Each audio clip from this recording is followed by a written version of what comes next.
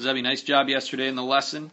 Uh, quick little recap for you. All that I was really yelling at you about was to stay down and hit the ground uh, as you come through and, and swing. So what I showed you on the video was just in relationship to your spine posture. So this red line right here, that's going to show you where you are uh, when you start.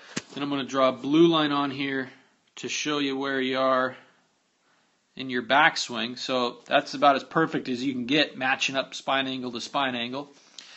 Uh, and then as we move forward into the downswing, we want to maintain that even longer. So there you go. I'm going to play you one more forward. So just through impact, we're going to put a yellow line on there to show where the spine is through impact. Maybe just tilt it up just a little bit.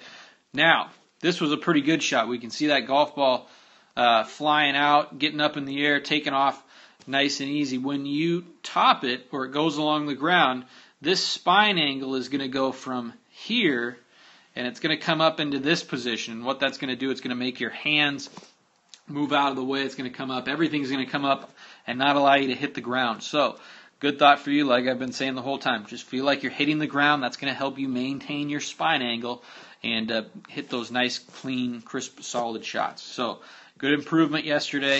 Uh, I hope you left feeling a little bit more confident, like you can get out on the course and beat Pat. Um, keep everything down, keep taking those divots, and uh, we'll continue to work on this next week. Good job, and I'll see you then.